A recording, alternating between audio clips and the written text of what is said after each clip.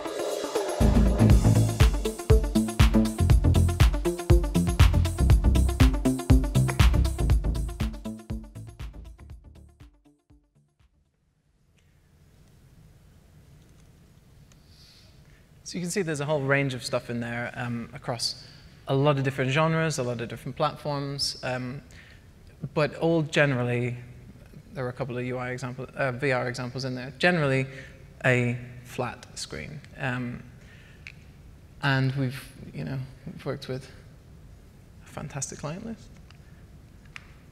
So I'm going to be talking about my experience on, uh, on VR, and the three VR projects that I'm allowed to talk about are um, CCP's Oculus launch title, Eve Valkyrie. Um, we did an experience for The Sage, which is a music venue in, in Gateshead in the Northeast, um, that was cross-platform on VR and on tablet. And uh, most recently, I've been working with the guys at Guerrilla Cambridge on RIGS Mechanized Combat League, which is a launch title for the Morpheus platform. And what I've learned working on these is that there are some very unique challenges and some very unique opportunities that VR offers. Um, we all know about that in terms of content, but also for UI design. As, a, as an industry, we've become very good at telling stories um, through the medium of a kind of window into a world. And that world can be amazingly well realized, but you're still viewing it through this very narrow window. Um, and UI's role primarily has been kind of a layer between you and the game world that makes your interaction with the game world work. Um, but in VR, it's very different. It's attempting to try and approach designing UI for VR in the same way that we've been doing it in the industry for a really long time. We're, we're very good at that. Um, and you might end up with something like this. Credit where credit's due, this is a fan mod that makes um, Left 4 Dead playable in VR. But this is bad. Don't do this in VR. um, good VR UI should make you feel powerful. It gives you the information that you need to make decisions that are enacted out in the game world. Um, good VR should make you feel like Tom Cruise in Minority Report with all this information at your fingertips. Um, it should not make you feel like you're in front of a window into the game world. In VR, you're, you're physically there in the world. And good VR UI is integral to a good VR experience. It has to not get in the way. It has to um, help with immersion rather than hinder. So what are some of the limitations? What are some of the common mistakes, common pitfalls that we should consider when designing for VR? Um, one of the biggest ones, one of the biggest misconceptions is about visual acuity, and that is how well can I see what's on the screen?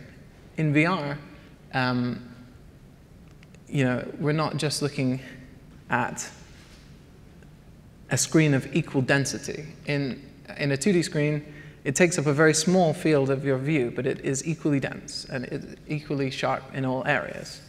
And HMDs like the Oculus, the, uh, the Morpheus expand out that field of view massively, encompassing your entire field of vision. In fact, it goes even further when you start to introduce head tracking to encompass literally everything that you can see around you. Um, but the way that these work is to take a flat screen and to distort the pixels to fill your vision. Uh, and you end up with areas kind of to the edges where traditionally we've put UI content in the past that aren't as crisp as they are in the center. Compound that with the fact that the way that our eyes work is that the best recognition we have is in a very small cone right in the middle. About 5 to 30 degrees either side is where you can distinguish letters, symbols. Um, towards the edges of your vision, you even lose the ability to distinguish between colors. Um, and we don't notice that in everyday life because our eyes flit around all the time. And we build a mental picture of what we're seeing. But in VR, um, apart from the Fove, which I've not had a chance to have a go at, uh, there is no eye tracking. You're, you're looking forwards. You're head tracking, but um, there's no kind of change in visual acuity towards the edges. So if you were to implement something like this where you have UI around the edges of the screen, say like on a helmet, um, uh, we're all very inspired by things like the Iron Man HUD, um, it, wouldn't, it wouldn't be as clear as you imagine, uh, both because the pixel density isn't as good around the edges, and because you're not as good as seeing in those areas. It's much better for VR to have things that are pinned in the real world, things that you can reference. So um, to take this example from Alien Isolation, to have something that you can refer down to. It doesn't take up as much uh, space, and it's much crisper because you can bring it into your good vision, that, that center of vision that's, that's really powerful.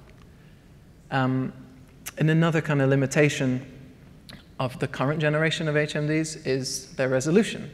If we go back to that idea of looking at a, a traditional screen, um, it takes up a very small amount of my field of view, but it's very dense, very heavily um, populated with pixels. And HMDs at the moment aren't. uh, they're getting better all the time. There's talk of resolution in the Oculus uh, consumer version 1 being as high as 2160, 1200. But even so, that's only about 1080 to 1200 per eye, um, which is still less than HD per eye. And then, of course, we also have to factor in physical fatigue. This is a real thing. Like the HMD weighs more than your head, put it that way. So if you're, if you're asking your player to look around a lot um, to complete common tasks, it's going to, it's going to cause some discomfort if you're doing this all the time. And briefly, I want to touch on the barfogenic zone, the wonderful 90s term that was coined to describe motion sickness.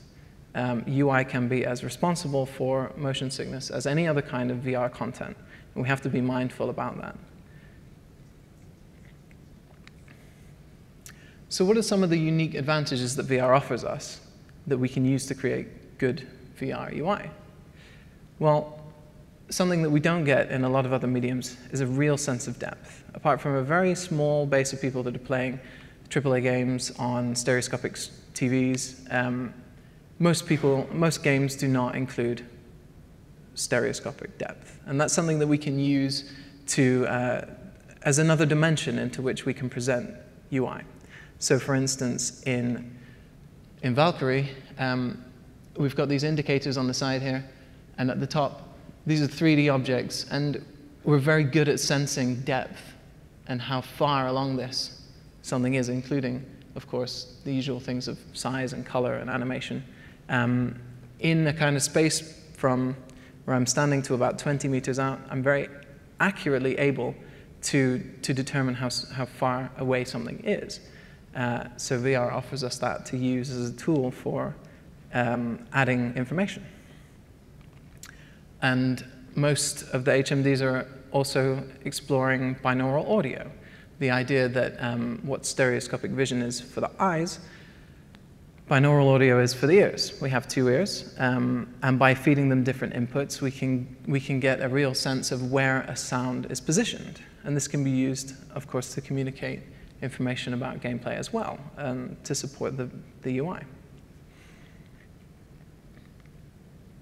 And of course, there are also new inputs. Um, VR at the moment has been done a lot with uh, traditional controllers. The Oculus Rift is shipping with, um, with the Xbox 360, uh, sorry, Xbox One controller as standard. Um, but there are also these explorations of devices that give you uh, more presence in the game, hand presence. And with that, um, new ways of controlling things, we also have to cater for new ways of um, giving people information about what they're doing. So you've got things like the Leap Motion, and this is the Hovercast uh, demo, where the input informs the design of the UI and the way that information is presented to the player. So aside from those um, advantages and disadvantages of VR itself, what other advice can I give you from my experience on how to design good VR UI?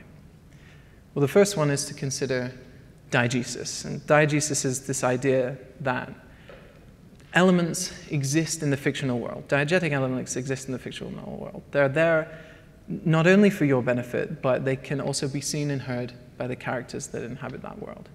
So um, not like this. This is not diegetic UI, but it is um, you know, a very, very common, very pervasive trend in game design to have additional information that is only for the benefit of the player.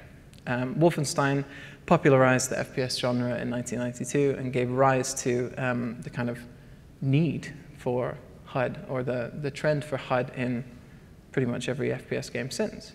Um, and it's, you know, it's still being used in very many different forms. Non-diegetic UI is the trend throughout uh, games. It's very uncommon that you'll find games that have a truly diegetic UI. Um, but a couple of examples that do. So this is a game called Metro 2033. And the game went to great lengths to kind of ground all of the information that you needed to play the game in the setting of the game world. Um, everything is on a prop, everything is done with the player's hands. And this is not a game that was ever designed for, you, uh, for VR. This is, this is, in all intents and purposes, a traditional game. Um, but it adds a sense of realism and it adds a sense of immersion that in VR we want to maintain. We want to create this. And so diegetic UI really, I feel, helps cement the player in their experience, in their VR experience. It's important to note that diegesis is not the same as believability. Um, to take another example of a really great diegetic UI from a non-VR game is something like Dead Space. Now, this entire interface exists in the game world. Our character, Isaac, can see this. Um, it's the tool which he does his everyday duties with. And it just happens that it's also the tool that we uh, interact with the game with. But the, the believability of this is arguable. But it is diegetic in that it fits in the, in the world, in the, the set rules that this world has created. And then, of course, you've got things like Darknet, which is a VR game, um, but it's setting you in this world of kind of hacking, viruses, that kind of 90s vision of VR where you're in the mainframe. And so the UI is diegetic in that it obeys the rules of that world, um, but it's not realistic in any way. My biggest piece of advice would be that you have to start your work on UI for VR really early on in the design process. Not just when you're starting to make the game, but actually even before you've started to make anything. Think about how the player is going to interact with what you're, with what you're creating. Um, and to do that, for the games that, that I've worked on, we've referenced other disciplines quite heavily. Um, so if we take the example of Eve Valkyrie, for instance, we did a lot of research into analogous real-world problems. In, in Valkyrie, you're flying through space, um, and so we looked a lot at cockpit designs for, uh, from the military and from NASA as well. And they have done an incredible amount of research on usability in, uh, in very extreme circumstances. And so there was a lot that we could learn from that. If your, if your VR experience is analogous to a real world activity, even loosely, definitely have a look at how uh, problems of usability are being addressed in that field. Um, one of the things that I love about this image is this idea of the knee pad. So um, there's limited room to actually put a piece of paper and write stuff down. And they've got these like whiteboards on their knees that they can add information on. And this gave us some great ideas about you know, putting information on the player's avatar. Um, or about the importance and the, the position of stuff. So the clock is not as important as the map, and it's, it's further away from the kind of central field that you're going to be using more often. I mentioned that um, resolution and visual acuity were uh, slightly problematic, and so for, for the products that we've worked on, um, we tend to favor icons over text for a number of reasons. Text is, uh, is great at explaining precisely what something does, but um, if you really want to find something quickly, it's a lot faster to, to just recognize it by an icon. Um, a great example of that in VR would be this um, experience called Tilt Brush, where it's kind of a painting app, but in 3D space. And you can see here that um, all of the tools are represented by icons for quick reference, but there's also an element of text to kind of support that that's, that's contextual. Um, you can quickly kind of just see, even though it's slightly lower resolution than you would want, um, what, those things, what those things are, just by the icon. And then there's the use of animation. Um, I talked about the different zones of vision and what they're, what they're good or not so good at. Um, peripheral vision at the very edges of your field of view is very, very sensitive to animation. Um, you might not be able to know, to see what something is, but you can sense that it is moving. And so we can use that to kind of draw people's attention to different parts of, um, of their current field of view and bring them into a new field of view. So this is um, from a Siemens trade show experience by Masters of Pi and Territory Studios. Um, and this animated line kind of leads people from one, uh, one part of the experience to another. Um, and you can kind of see it receding out of the corner of your eye, and so you know to follow that. And we use this a lot in, um, in Valkyrie to kind of let you know when pieces of information that live in the cockpit are changing. There'll be a piece of animation in the very corner of your vision that kind of leads your attention down to find a more detailed piece of information somewhere else. And uh, making UI contextual is another thing that can really help to kind of free up some of the field of view for, uh, for other things, like seeing out of your cockpit window. um, having UI that only appears when you need it is something that we can do with head tracking because we know precisely where a player is looking. Uh, again, to go back to the Siemens trade show experience, this is using head tracking to bring up various different pieces of information depending on what the user is looking at. Another thing that I would suggest is that you challenge players to be more aware of the environment around them. In VR, you're very immersed in the, in the game world, um, and there are some things that are communicated more effectively than via a piece of UI. Uh, as a UI designer, it kind of pains me to say that, but it's true. And um, you know, I've actually been very involved in helping to decide what pieces of information don't need UI and where else they could live in, in the world. So for example, um, a lot of the Forza games, this one being Forza Horizon 2, have a no HUD, no assist mode. Um, and you're literally challenged to drive, you know, as you would in real life, with no indicators of who's around you or where to go next, um, you know, to follow the road signs and things. And, that, and this is a non-VR game. It works even better in VR, where we have a much greater situational awareness. I'm not saying don't do any UI, because I'm a UI designer. Don't do that. Um, it's important to test often. It's important to test early, but it's really important to test with VR virgins, people that have not experienced VR before. Um, and one of, the, one of the main reasons is that, you know, as developers, we build up a tolerance to VR. Um, the, the more hours you clock, the less susceptible you are to, to motion sickness, to um, uncanny valley issues, anything that, like, we, we just become very accepting of things. Um, testing with people that have not experienced VR before can really open your eyes to, um, to lots of different things. We had a lot of preconceptions about what would work really well, and when we tested it, um, we found we were very surprised that some of the things we didn't think were very good uh, worked really well. So not only test the stuff that you think is good, but also use it as validation for dismissing ideas.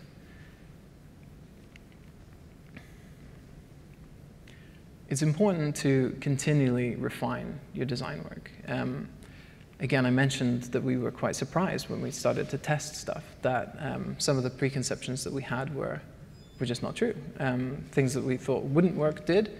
And so then it's trying to find out, okay, how do we refine that? I, I didn't think this was a good idea, but it's working really well. How can I iterate on that?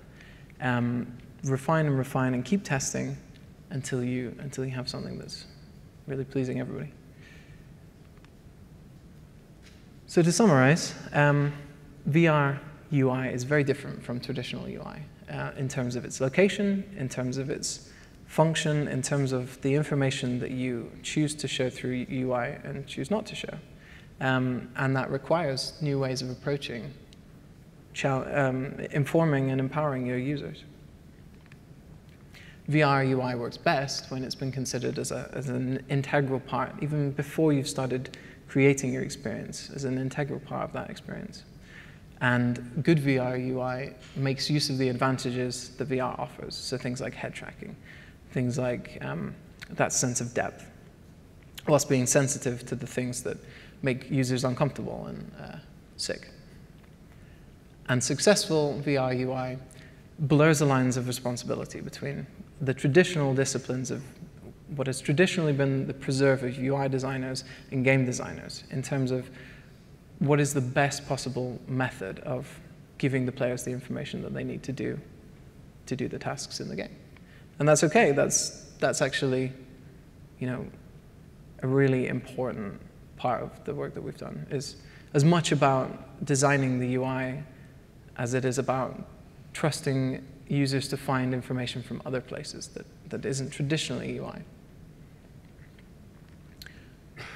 Thank you for listening. I, I kind of rattled through that. Um, hopefully that's a good thing and we'll give you more time for Q&A. I hope some of you have some questions. Um, yeah, I was told to put this in. Thank you.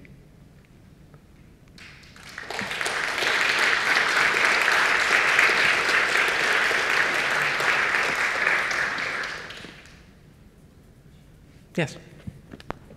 Hi. Uh, how much have you done with VR UI that is uh, rotational based, that like relies on someone's understanding of their where their hands are and stuff, and manipulating two hand interfaces? And do you have any advice on that model? I haven't actually.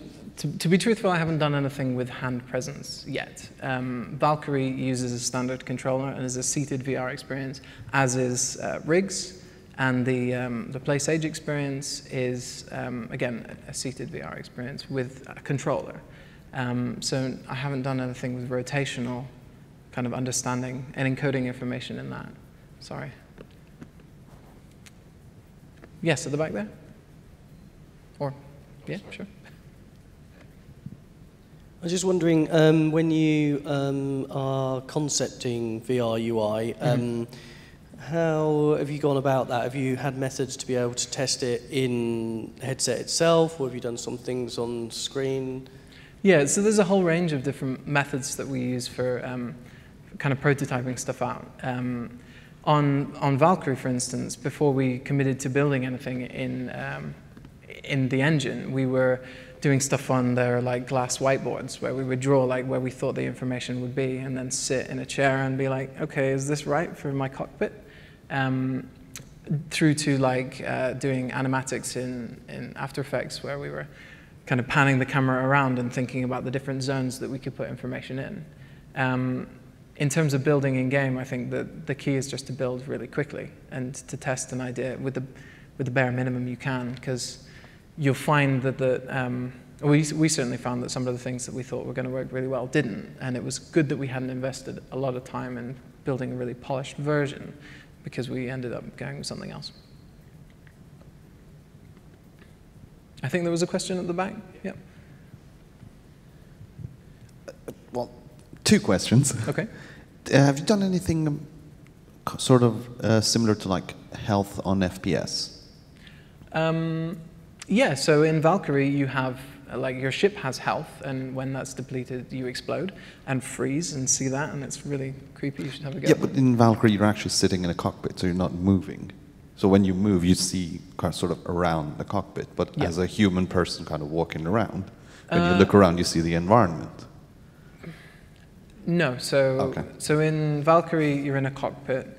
Um, and there's a physical location in the cockpit where you're informed of the, the kind of structural integrity of your ship which is essentially your health and your shield. Um, and in RIGS, you are in a, a mech, a rig. Um, and so that has an associated health. You, you as the player are not the kind of target of de health depletion. And I'm uh, just wondering, in terms of user testing uh, with Valkyrie, did that go through quite a few iterations or? Because, um, because Valkyrie is a seated experience, um, the player isn't supposed to move around a lot, and so the, um, the body, the avatar uh, is very, quite immersive because it kind of matches up to what you expect. When you look down, you see a seated body, and that feels very, um, very good if, if, it gives you a great sense of presence. Um, in terms of kind of in creating that presence in the PlaySage experience, which is um, it's very different. You don't have an avatar at, at all. Um, but then the world is stylized in a very different way. So I, I, don't think that you expect, because it's not a realistic interpretation of the world, I don't think you expect a realistic representation of yourself in that space. Any more? Yeah, down at the front here.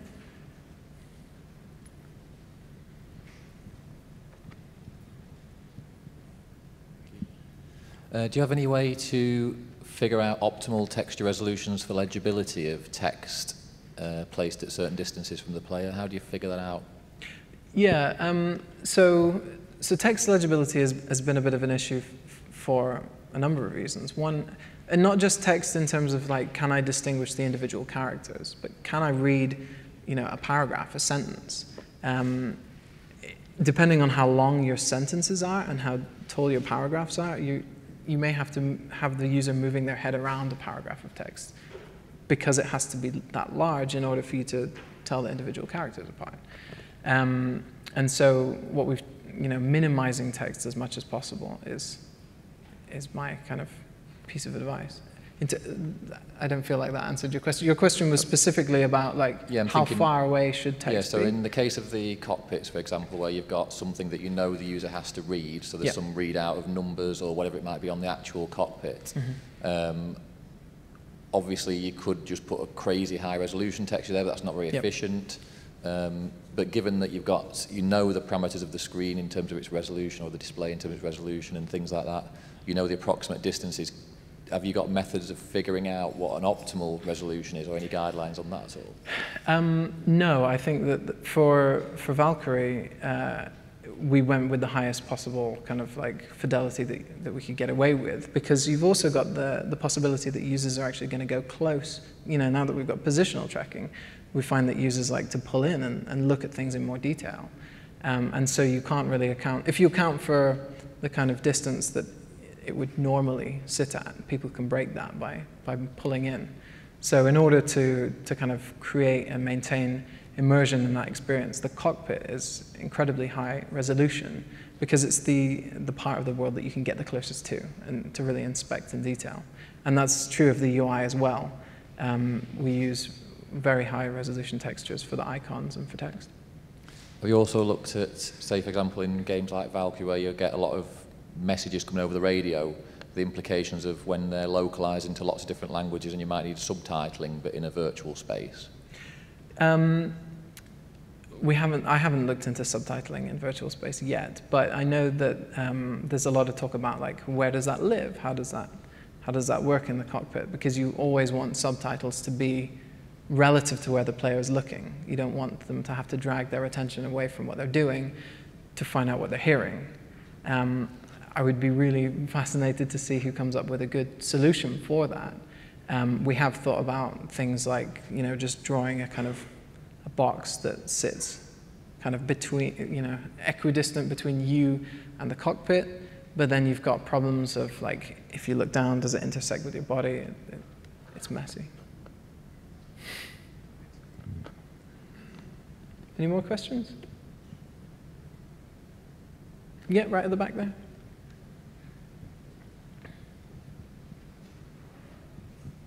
Hello. Um, I played Valkyrie, I think, every time I had the opportunity to play it, and I love it. I mean, Great. from early stage up to the later stage, and I've Mhm. seen a lot of changes in the UI. Yeah. So I'm not sure how many there were. It would be interesting to know how many iterations you had to say that's the final UI iteration. It'd be interesting for me to know. Sure. So from the original kind of um, EVR, which was the prototype that kind of uh, sparked the whole idea for EVE Valkyrie, um, through to the yellow version that I showed where um, the UI is realized as 3D objects. There have been, uh, I would say, like three or four major iterations of that UI. But to get to each of those major iterations, every single element of that UI has been iterated on at least like 10 to 15 times per cycle. You know, we're always looking for um, not only the best way to, to display information, but there's just so many different ways that you can encode information. So for instance, um, you may have played the FanFest 2014 demo where we had like a compass above the user's head. Uh, and that was, you know, one of our one of our early methods of giving players awareness of who's behind them and who's around them. Um, because out of the cockpit, you don't necessarily see where the other ships are in, in relation to you. We've, um, for a while, we moved away to kind of almost no situational awareness about who is around you. And that goes back to my point about challenging the player to be aware of their surroundings. If, a, if in Valkyrie another ship manages to get behind you without you noticing, it's kind of their prerogative to shoot you down. Like just, and because everybody's in the same boat, um, everybody's more aware of like I have to be more vigilant that people don't get behind me. Um, we're seeing now a, a mini map appear in the middle, and that's more to facilitate like relation to uh, your understanding of where you are in the level than it is to understand where you are relative to other smaller things like, like the enemy ships. Thanks. Okay. No more questions? Sorry, it's short and sweet, but um, thank you everybody for coming.